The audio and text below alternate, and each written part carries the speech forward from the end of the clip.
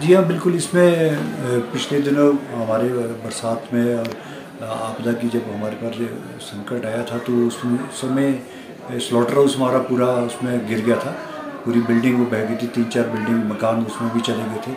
उसके, उसमें काफ़ी मुर्गे और बकरे और कुछ और भी जैसे सुअर, इसमें काफ़ी लोगों का उसमें काफ़ी उसमें दब गए थे। तो अब आजकल दो तीन दिन से मौसम ठीक है और वहाँ से स्मेल ना फैले या बीमारी ना कोई फैले।